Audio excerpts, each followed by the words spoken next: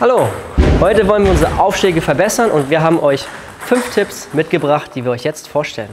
Lasst uns starten.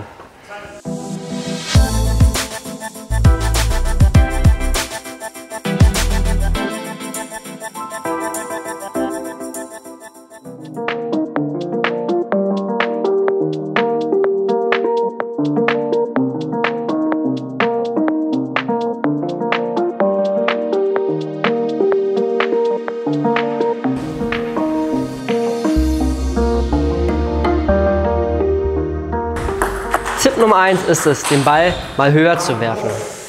Das Gute daran ist, dass der Ball, wenn er hier oben ist und hinunterfällt, an Geschwindigkeit zunimmt und mit dem gleichen Balltreffpunkt, den man dann hat, mehr Rotation erzeugen kann.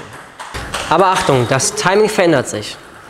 Der Ball hat eine höhere Flugkurve, kommt später runter und du musst jetzt darauf achten, den Ball wieder gleich zu treffen auf der gleichen Höhe und den Ball, und den Ball dementsprechend gut beobachten.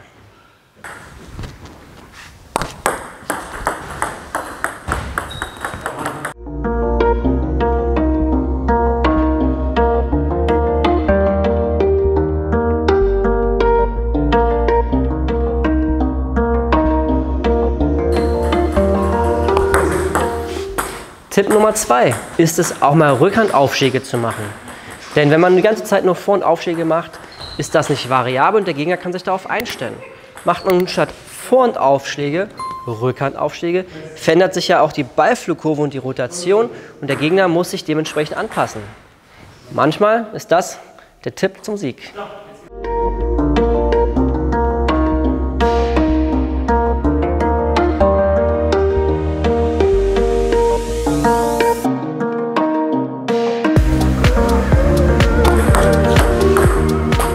Das war ein kurzer Aufschlag.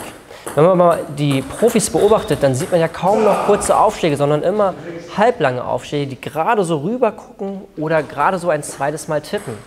Und das ist auch meine Empfehlung an euch. Vergisst die kurzen Aufschläge, egal wie oft die, euch euer Trainer, euer Kumpel nennt. Macht halblange Aufschläge. Der Vorteil ist einfach, dass es viel, viel schwerer ist, zu flippen für den Gegner, aber auch selbst kurz zurückzulegen, weil die Bälle auch schon länger sind. Und somit ist es für sich selber leichter, mit dem dritten Ballkontakt anzugreifen, da der Gegner den Ball eher lang spielt.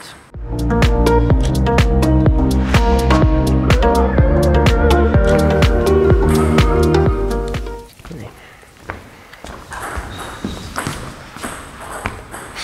Warum nicht?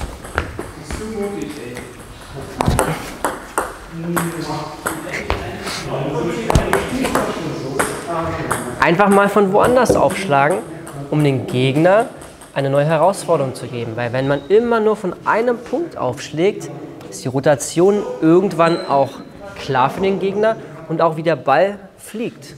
Wenn du aber die Position veränderst und hier mal ein bisschen wanderst, stellst du ihn auch für neue heraus oder sie vor neue Herausforderungen, die sie erstmal lösen müssen. Und wenn ihr schon mal die Stellung des Aufschlages verändert, dann verändert doch auch mal den Schnitt. Angenommen, ihr seid in der Position und macht Unterschnittaufschläge. Okay, der muss halt auch kommen. Und euer Gegner schupft den immer sehr, sehr sicher zurück.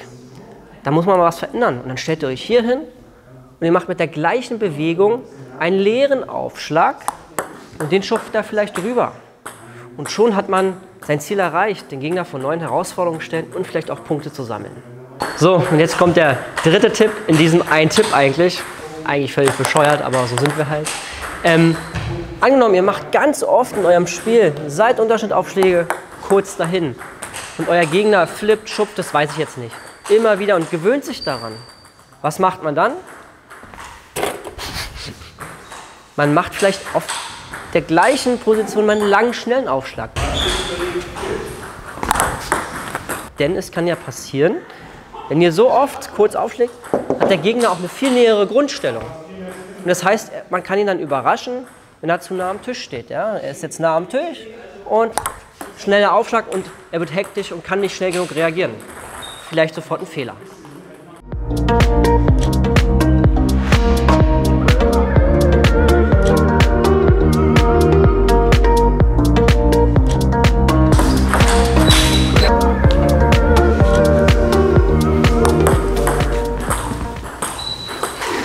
So vielleicht nicht.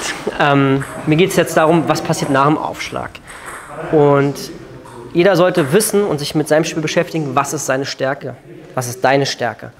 Und meine Stärke ist die Vorhandorientierung zum Beispiel. Und ich mache meinen Aufschlag und es muss ein fließender Übergang sein in eine Stellung, um mit der Vorhand möglichst den ganzen Tisch abzudecken. Bei mir. Ja? Vorhand orientiert stehen.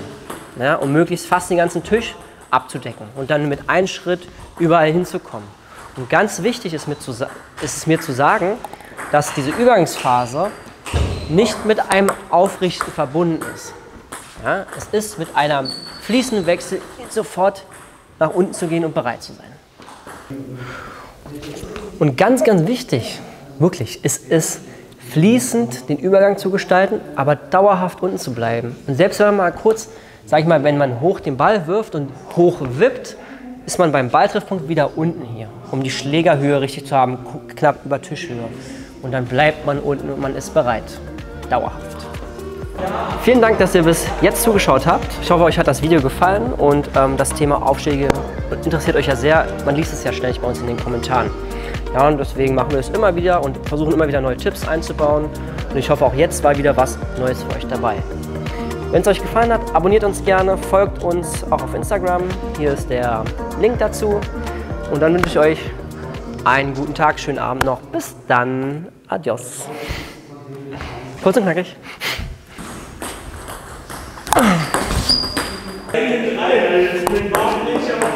Ah. Ah.